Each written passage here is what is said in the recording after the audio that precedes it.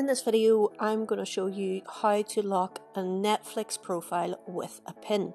It's especially useful if you have children that use your account.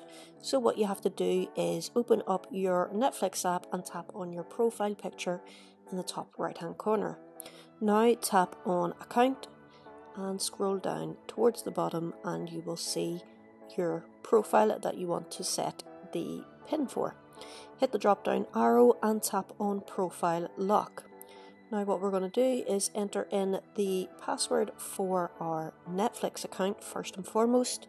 Once you've done that, then what you want to do is now set up a four digit PIN.